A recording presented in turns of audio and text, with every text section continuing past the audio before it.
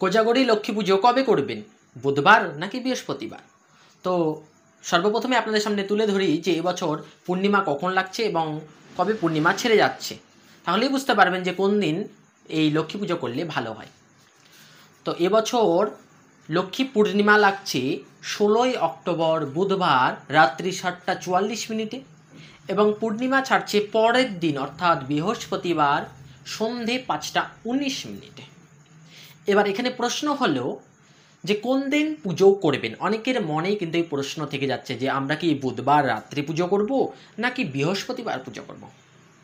তো বলে দিই যে মনে রাখবেন বৃহস্পতিবার কিন্তু গুরুবার, অর্থাৎ লক্ষ্মী পুজোরই বার, মা লক্ষ্মীর বিশেষ দিন সেদিন। সকল বাঙালি নারীরাই কিন্তু বাড়িতে সেদিন ঘট বসিয়ে কিন্তু প্রত্যেক বৃহস্পতিবার আপনারা মা লক্ষ্মীর পূজা, আরাধনা, উপাসনা করে থাকেন।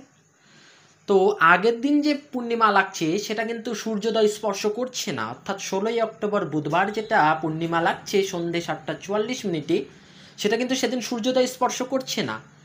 তাই সেদিনের থেকে আপনারা যদি বৃহস্পতিবার দিন আপনারা বাড়িতে কোজাগরি লক্ষ্মী পুজো করেন, তবে বেশ ভালো হয়। কারণ এর দুটো দিক বলে দিই। কি বিশেষ দুটো দিক রয়েছে? বৃহস্পতিবার যদি পুজো করেন, তাহলে কি হলো? সেই পূর্ণিমার তিথিটা শুদ্ধ হলো, অর্থাৎ সেদিন সূর্যোদয় স্পর্শ করছে, কারণ সন্ধে পাঁচটা উনিশ মিনিট পর্যন্ত রয়েছে বৃহস্পতিবার। এবং বৃহস্পতিবার হচ্ছে লক্ষ্মী মায়ের বিশেষ দিন, সকলেই জানেন। তার জন্যই আপনারা বুধবার দিন না করে বৃহস্পতিবার দিন সকলে করতে পারবেন। এবার অনেকের মনে প্রশ্ন আসছে যে, বৃহস্পতিবার তো রাত্রি পাচ্ছি না, সেক্ষেত্রে আমরা কি করব? লক্ষ্মী পুজো তো রাত্রেই করতে হয়। দেখুন, লক্ষ্মী পুজো রাত্রে করতে হয়, কিন্তু তিথি হিসেবে সেই পুজোর আগে পিছিয়ে করতে পারবেন। কারণ আগের দিন যে বুধবারে যে লক্ষ্মী পূর্ণিমা লাগছে, সেটা শুদ্ধ নয়, কারণ সেটা সূর্যোদয় স্পর্শ করছে না। আর পরের দিন বিশেষ করে বৃহস্পতিবার রয়েছে এবং সূর্যোদয় স্পর্শ করছে। তাই সেদিন যদি গৃহে আরও আপনি কোজাগুড়ি লক্ষ্মী পুজো করতে পারেন, তাহলে আরও বেশি ভালো হয়। তাই বুধবার দিনটা আপনারা না করে আপনারা বৃহস্পতিবার দিন করুন। আপনারা বৃহস্পতিবার দিন সকাল থেকে শুরু করি, সন্ধে পাঁচটা উনিশ মিনিট পর্যন্ত সময় রয়েছে। আপনারা পাঁচটার থেকেই শুরু করে পাঁচটা উনিশ মিনিটের মধ্যেও কিন্তু আপনারা পুজো করে নিতে পারবেন। তাই জন্যই সতেরোই অক্টোবর বৃহস্পতিবার দিন আপনারা কোজাগরি লক্ষ্মী পুজো বাড়িতে পালন করুন। তো এবার তুলে ধরি যে কোজাগরি লক্ষ্মী পুজো কীভাবে করবেন, কি কি বিধি নিয়ম রয়েছে, কীভাবে করতে হবে, উপবাস কতক্ষণ থাকতে হবে? তো যেহেতু কোজাগরি লক্ষ্মী পুজো বৃহস্পতিবার দিন করলে ভালো হয়, তাই বুধবার দিন অবশ্যই যারা আমিষ ভজন করেন, তারা সেদিন নিরামিষ আহার গ্রহণ করবেন এবং পরের দিন আপনারা কিন্তু উপবাস থেকে মা লক্ষ্মীর ব্রত করবেন, অর্থাৎ আরাধনা উপাসনা করবেন এবং পুজো অর্চনা করবেন। তো বৃহস্পতিবার দিন যেদিন পুজো অর্চনা করবেন, তো তার আগে কিছু সামগ্রী কিন্তু আপনাকে জোগাড় করে নিতে হবে লক্ষ্মী পুজোর। এবং বলে দিই যে উপবাস কতক্ষণ থাকতে হবে এবং পুজোর পর কী কী খেতে পারবেন। তারপর পুজোর ফর্দ এবং পুজো কীভাবে করবেন, সমস্ত কিছু বিধি নিয়ম জানিয়ে দিচ্ছি একটির পর একটি।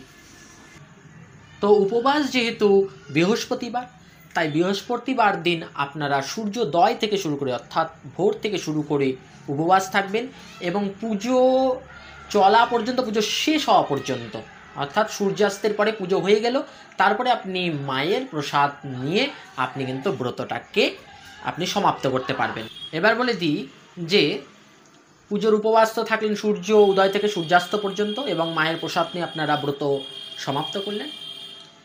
এবং বলে দিই পুজোর পর কী কী খেতে পারবে তো পুজোর দিন অবশ্যই আপনারা কিন্তু প্রথমে মায়ের প্রসাদটা নেবেন, অর্থাৎ ফল প্রসাদ গ্রহণ করুন। সেদিন অন্ন প্রসাদ গ্রহণ না করাই ভালো। অবশ্যই সেদিন আপনারা অন্নপ্রসাদ গ্রহণ করবেন না, পরের দিন আপনারা অন্নপ্রসাদ গ্রহণ করুন। এবং লুচি, রুটি, সবজি ইত্যাদি আপনারা লক্ষ্মী মাকে ভোগ লাগিয়ে সেটা প্রসাদ পেতে পারেন। এবার বলছি যে কোজাগরি মানে কি? কোজাগরি মানে হচ্ছে কে জেগে আছো। এই যে শারদীয় রাস পূর্ণিমা, যেটাতে কিন্তু কোজাগরি লক্ষ্মী পুজো হয়ে থাকে, তো বিশেষ একটা দিন, বৃহস্পতিবার তিথিটা কিন্তু খুবই বিশুদ্ধ তিথি। বুধবারের দিন নয়, বুধবারের রাতে লাগছে কিন্তু সেটা বিশুদ্ধ নয়, বৃহস্পতিবার দিন। তাই সেই দিনটা আপনারা সারাদিন মা লক্ষ্মীর আরাধনায় আপনারা নিমগ্ন থাকুন।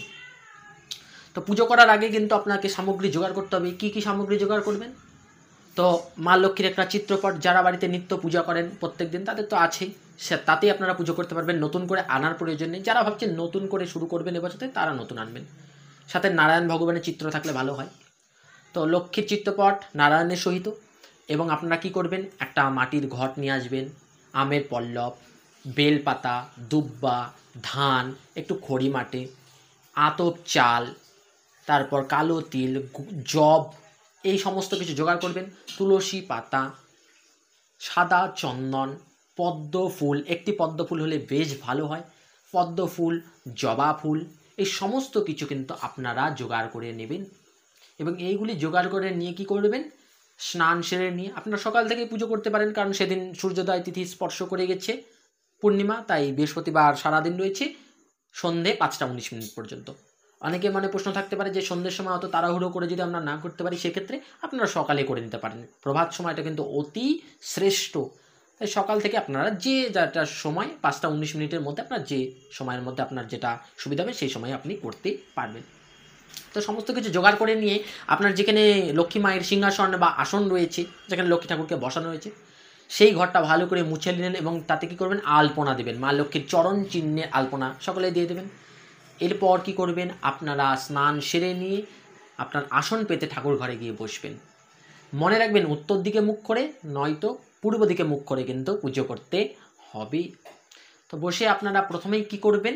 আপনার গুরুমন্ত্র স্মরণ করে নিলেন, একটু হরিনাম করে নিলেন, পাঁচ মিনিটের মতন করে নিয়ে আপনার আচমন আদি সেরে নিয়ে আপনার লক্ষ্মীর ঘট স্থাপন করবেন। তার আগে বলে দিই, মা লক্ষ্মীর যে চিত্রপট বা যদি কারও পেতলের মূর্তি থাকে, যার যেটা ঠাকুর রয়েছে, তাতে কিন্তু স্নান করিয়ে দিতে হবে। আপনারা পরিশুদ্ধ জল দিয়ে বেলপাতা দিয়ে আপনারা মা লক্ষ্মীকে স্নান করিয়ে দেবেন। করিয়ে দেওয়ার পর মুছিয়ে দিয়ে, কাপড় পরিয়ে দিয়ে, চিত্রপট থাকলে একটা কাপড় পরিয়ে দিলেন, আর বিগ্রহ থাকলেও বিগ্রহ বা মূর্তিতে কাপড় পরিয়ে দিয়ে আপনারা নতুন কাপড় পরিয়ে দিয়ে বসিয়ে দিলেন। এরপর ঘট প্রতিষ্ঠা করতে হবে। তো ঘট কীভাবে প্রতিষ্ঠা করবেন? ঘট প্রতিষ্ঠা করতে হবে, তো ঘটে কী করবেন? সিঁদুর দিয়ে স্বস্তিক চিহ্ন অঙ্কন করবেন এবং ঘটে জল পরিপূর্ণ করবেন। ঘটের উপরে আমের পল্লব দেবেন। পাঁচটি পত্রযুক্ত, অর্থাৎ পাঁচটি পাতাযুক্ত আমের পল্লব নেবেন। তার প্রত্যেকটার মধ্যে কিন্তু সিঁদুরের ফোঁটা দিয়ে দেবেন। দিয়ে সেটা বসিয়ে দিলেন। এরপর কি করতে হবে? তার উপরে আপনারা একটি ডাব দিতে পারেন। অনেকের কাছ- মনে প্রশ্ন হতে পারে যে ডাব যদি না পাই, সেক্ষেত্রে ফলও দিতে পারেন। তো ডাব বা ফল নিয়ে আপনারা তার মধ্যে সিঁদুরের ফোঁটা তিনটি দেবেন, তারপর বসিয়ে দিলেন। দিয়ে তারপরে একটা গামছা দিয়ে দিবেন। গামছা দিয়ে আপনারা সেই ঘটার নিচে কিছুটা ধান, দুব্বা এবং খড়ি মাটি দিয়ে লক্ষ্মীনারায়ণের জয় দিয়ে লক্ষ্মীর সামনে বসিয়ে দেবেন। এইভাবে কি হলো? ঘট প্রতিষ্ঠা হয়ে গেল। ঘরের, ঘটের সামনে একটা কলার ফানা দেবেন, ষোলোটা কলার ফানা দেবেন, তাতে পাঁচটার মধ্যে আপনারা সিঁদুর দিয়ে দেবেন এবং দেওয়ার পরে চন্দন আপনারা ঘষে নেবেন। ঘষে নিয়ে কী করবেন? সাদা চন্দনটা নারায়ণ ভগবানকে আগে দিতে হবে। যাদের চিত্রপটে অর্থাৎ ছবিতে নারায়ণ, লক্ষ্মী নারায়ণ একসাথে রয়েছে, তারা নারায়ণ ভগবানেরকে কিন্তু পুজো করতে হবে এবং যাদের শুধু লক্ষ্মী বিগ্রহ বা লক্ষ্মী মূর্তি রয়েছে, তারাও নারায়ণ ভগবানকে আগে পুজো করতে হবে। তো কীভাবে করবেন সব বলে দিচ্ছি একটির পর একটি। তো যাদের নারায়ণ ভগবানের সাথে মা লক্ষ্মী রয়েছেন একই ফটোতে। আপনারা সাদা চন্দন নিয়ে, এ দুটি আঙ্গুল দিয়ে চন্দন নিয়ে নারায়ণ ভগবানের এই ললাটে, অর্থাৎ কপালের এই দুপাশে, তিলকের দুপাশে দেবেন। তো কি বলবেন? এতে সচন্দন শ্রী নারায়ণ ভগবানই নমঃ। দিয়ে নারায়ণ ভগবানের কপালে দিলেন, নারায়ণ ভগবানের বক্ষে দিলেন এবং নারায়ণ ভগবানের চরণে স্পর্শ করে মা লক্ষ্মীর কপালে ওটাই দিয়ে দিতে হয় প্রসাদী চন্দন এবং কি করবেন? আপনারা তুলসী পাতা নেবেন। দুটো হোক, চারটি হোক, আটটি হোক, ষোলোটি হোক, জোর জোর করে দিতে হবে। দিয়ে তুলসী পাতা সাথে চন্দন মিশ্রিত করে, এতে সচন্দন তুলসী পাতা, নারায়ণ ভগবানের চরণেই নামা। এটা যাদের লক্ষ্মীনারায়ণ একসাথে রয়েছে, যাদের শুধু লক্ষ্মী বিগ্রহ রয়েছে, তারা কি করবে? তারা নারায়ণ পুজো তো আগে করতে হবে, তো একটা পাত্র রাখবেন। সেই পাত্রে চন্দন নারায়ণ ভগবানকে স্মরণ করে দেবেন, সেই পাত্রেই আপনারা তুলসী দেবেন, সেই পাত্রেই ফুল দেবেন, এভাবে দেবেন। তুলসী দিয়ে দিলেন নারায়ণ ভগবানকে, এবং ফুল নিয়ে, ফুলের সাথে চন্দন মিশ্রিত করে এতে সচন্দন গন্ধ পুষ্প, নারায়ণ ভগবানের চরণেই নাম। এই বলে দিলেন, তাহলে কি হলো? নারায়ণ ভগবানের পুজো হয়ে গেল। যাদের লক্ষ্মী নারায়ণ একসাথে রয়েছে, তারা এই পদ্ধতিতে, যাদের শুধু মা লক্ষ্মীর চিত্রপট বা মূর্তি রয়েছে পেতলে, তারা কি করবে? ঘটে বা একটি পাত্রের মধ্যে নারায়ণ ভগবানকে এইভাবে পুজো করবে। এবার করতে হবে মা লক্ষ্মীর পুজো। সিঁদুর গুলিয়ে নিয়ে মা লক্ষ্মীর সিঁথিতে দেবেন, মা লক্ষ্মীর কপালে দেবেন, মা লক্ষ্মীর শাখা খারুতে দেবেন এবং বস্ত্রে হালকা ঠেকিয়ে দেবেন। এইভাবে দিলেন এবং হ্যাঁ বলে রাখি, মা লক্ষ্মী নারায়ণের উদ্দেশ্যে ধুতি, শাড়িও আপনারা দিতে পারবেন। আলতা, সিঁদুর, সমস্ত কিছু, সামগ্রী সেদিন দান করতে পারবেন, পাঁচ ফল, সমস্ত কিছু। দিলেন মা লক্ষ্মীকে সিঁদুর, তারপর কি করতে হবে? তুলসী পাতা কিন্তু নারায়ণ ভগবানের চরণে, মা লক্ষ্মীর চরণে কিন্তু দিতে পারবেন না। তার জন্য মা লক্ষ্মীর চরণে কি দেবেন? ওই যে পদ্ম ফুলটা এনেছেন, সেটা দিতে পারেন। পদ্ম ফুলের সাথে চন্দন মিশ্রিত করে, এতে সচন্দন গন্ধপুষ্প, লক্ষ্মী ভগবানের চরণকমলে ভিয় নমঃ। এতে সচন্দন গন্ধপুষ্প, লক্ষ্মী মায়ের চরণকমলে ভিয় নমঃ। এই বলে মা লক্ষ্মীর চরণে দিয়ে দিলেন। তো এটা পুজো হয়ে গেল। নিজে করলে এইভাবেই কিন্তু শুদ্ধভাবে করতে হবে। করার পর আপনারা ভোগ নিবেদন করবেন। তো একটি পাত্রের মধ্যে মা লক্ষ্মীর প্রিয় সমস্ত সামগ্রী, খই, মুরগি, ছানা, নাড়ু, তিলের নাড়ু, নারকেলের নাড়ু, সমস্ত কিছু, লুচি লাবড়া তরকারি, মিষ্টি পায়ে যত কিছু রয়েছে, সমস্ত কিছু ভোগ আপনার যা যা সামর্থ্য হবে দিয়ে একটি থালার মধ্যে দিলেন এবং ডান দিকে গ্লাস মনে রাখবেন, আপনার হাতের বাঁ দিকে থাকবে, ভগবানের হাতে ডান দিকে দিয়ে দিলেন। সেটার মধ্যে অবশ্যই তুলসী পাতা দিতে হবে। তুলসী পাতা দিয়ে যারা গুরুর মন্ত্র নিয়েছে, তারা তো ভোগ নিবেদন পদ্ধতি জানি, তারা সেই ভোগ নিবেদন মন্ত্র বলি ভোগ নিবেদন করবেন এবং যারা গুরু মন্ত্র নেননি, তারা হরিনাম, অর্থাৎ হরে কৃষ্ণ হরে কৃষ্ণ কৃষ্ণ কৃষ্ণ, হরে হরে হরে রাম হরে রাম রাম রাম, হরে হরে। এই মহামন্ত্র যুগে নিবেদন করবেন। তো প্রথমে সেই ভোগটা নারায়ণ ভগবানের উদ্দেশ্যে নিবেদন করবেন। নারায়ণ ভগবানের পাওয়ার পর, পাঁচ দশ মিনিট পর, সেই ভোগটা মা লক্ষ্মীর উদ্দেশ্যে করো জেরে বলবেন, হে নারায়ণ ভগবান, তুমি আনন্দ সহকারে এই ভোগ সামগ্রী গ্রহণ করো।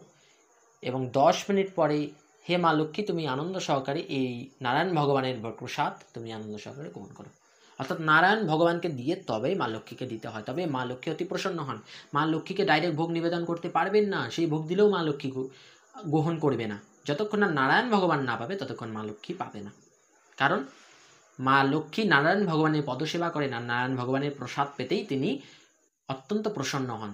তার জন্যই তিনি নারায়ণ ভগবানের প্রসাদ পাওয়ার আগ্রহী, তাই নারায়ণ ভগবানকে দিয়ে সেই প্রসাদ মা লক্ষ্মীকে নিবেদন করবেন এদিন।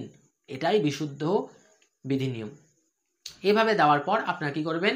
আরতি করবেন। তো পঞ্চপ্রদীপ, ঘিয়ের প্রদীপ দিয়ে আপনারা আরতি করবেন এবং আপনার ধূপ, ধুনা সমস্ত কিছু দিয়েই আপনারা লক্ষ্মীনারায়ণ ভগবানের আরতি করবেন এবং অবশ্যই নারীরা বা মহিলারা বা মায়েরা আপনারা লক্ষ্মীনারায়ণের সামনে বসে পাঁচালি কিন্তু পাঠ করবেন। অবশ্যই পাঁচালি পাঠ করবেন এবং লক্ষ্মীনারায়ণের জয়ধ্বনি নেবেন এভাবে পুজো করার পর আপনারা যখন পূর্ণিমা ছেড়ে যাবে, তারপরে আপনারা সেই প্রসাদ সকলকে দিতে পারবেন এবং সেই প্রসাদ আপনারা গ্রহণ করবেন।